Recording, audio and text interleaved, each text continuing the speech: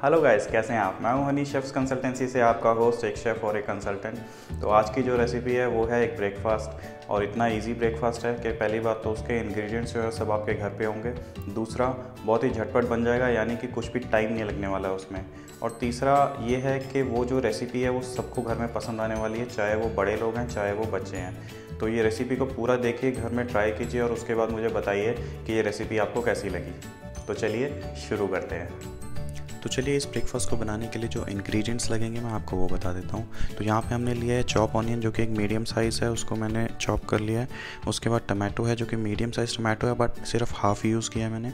फिर मैंने यहाँ पर यूज़ किया करी पत्ता। ये मैंने यूज़ किया अराउंड आठ से दस लीव्स उसके बाद मैंने लिया चॉप कोरिएंडर हरा धनिया। ये मैंने लिया दो टेबल स्पून फिर मैंने लिया ग्रीन चिली ऑलमोस्ट दो ग्रीन चिली है।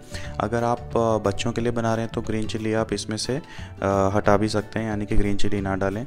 उसके बाद हम जो यूज़ करने वाले हैं ब्रेड। ब्रेड को मैंने डाइसेस में काट लिया, स्क्वायर छोटे छोटे और इनकी साइड कटिंग कर ली है। साइड में जो है इसकी नहीं यूज़ कर रहा हूँ। तो यहाँ पे जो मैंने लिया है नॉर्मल साइज़ की जो ब्रेड आती है, मार्केट में अवेलेबल रहती है, वो मैंने तीन स्लाइस यूज़ की हैं। उसके बाद मैंने लिया दो अंडे, एग्स, जिनको मैंने विस्क कर लिया। उसके बाद हम इसमें यूज़ करने वाले हैं हल्दी, यानी कि टर्मिक पाउडर ये हम यूज़ करेंगे ऑलमोस्ट आधी टीस्पून फिर आपका रेड चिली पाउडर रहेगा, ये भी आधी टीस्पून यूज़ करेंगे। उसके बाद राई जो है मस्टर्ड सीड्स ये तड़के के लिए यूज़ करेंगे और सॉल्ट टू टेस्ट इसमें रहेगा।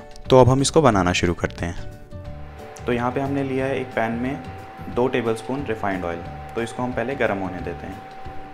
तो यहाँ पे हमारा तेल जो है वो गर्म हो चुका है। सबसे पहले इसमें हम डालेंगे राई, यानी कि मस्टर्ड सीड्स जो कि मैं एक टीस्पून डाल रहा हूँ। इसके बाद हम इसमें डालेंगे करी पत्ता।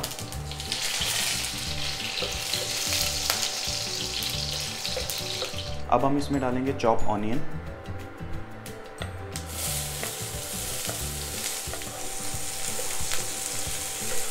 यहाँ पे हम ऑनियन को ज़्यादा पकाएँगे नहीं, हमें सिर्फ़ ऑनियन को गलाना है। कि वो गल जाए अच्छी तरह। इसमें कलर जो है वो नहीं आना चाहिए। जिसे हम ट्रांसल्यूसेंट भी बोलते हैं। तो चलिए ऑनियन जो है ऑलमोस्ट गल चुके हैं। अब इसमें हम डाल लेते हैं टमाटो और ग्रीन चिली और इसको अच्छी तरह आप मिक्स कर लीजिए। अब जो टमाटो है, उसको भी हमने ज़्यादा पकाना नहीं है। इसको हम आधा कच्चा, आधा पक्का रखेंगे।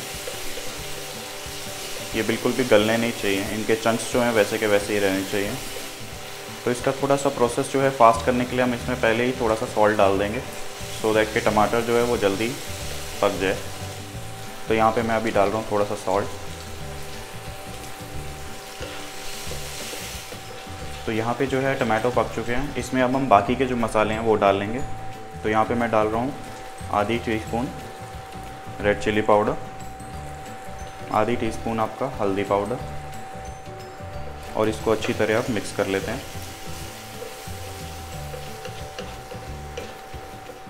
अब जो आपके मसाले हैं वो अच्छी तरह मिक्स हो चुके हैं। अब हम इसमें डाल लेंगे सबसे पहले अंडा, यानी कि एग्स जो कि हमने दो विस्क करके रखे थे।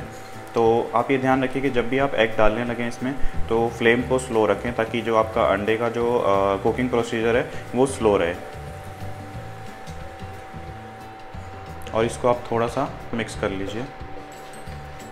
अभी इसमें आपको मेन ध्यान देने वाली बात ये है कि आपको जो ब्रेड हमने पीसेस में काटी हुई है, उसको कब डालना है।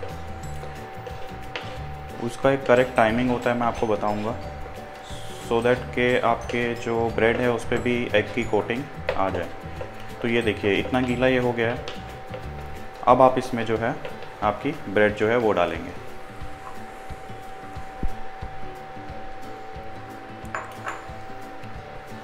और इसको अच्छी तरह मिक्स करेंगे।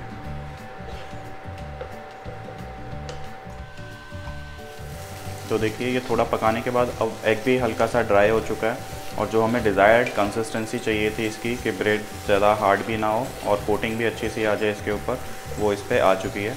अब हम इसमें डाल देंगे हरा धनिया कटा हुआ। हम ये सारा नहीं डालेंगे, इसमें थोड़ा सा हम रखेंगे गार्निश के लिए।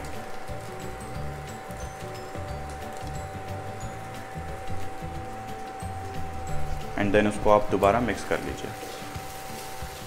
तो ये जो आपका ब्रेकफास्ट है, ये बिल्कुल रेडी हो चुका है। तो ये एक बिल्कुल सिंपल रेसिपी है इजी रेसिपी है, झटपट ब्रेकफास्ट है, जो कि मैंने थोड़ा सा ट्विस्ट दे के बनाया है। ऐसे तो हम लोग ब्रेड और अंडे की भुर्जी खाते ही खाते हैं बट ये मैंने एक मिक्स करके थोड़ा सा ट्विस्ट किया है, इसमें थोड़ा चेंज किया है। तो नए तरीके से आप जब भी कोई चीज़ बनाएँगे घर में तो वो सबको बहुत ज़्यादा पसंद आएगी।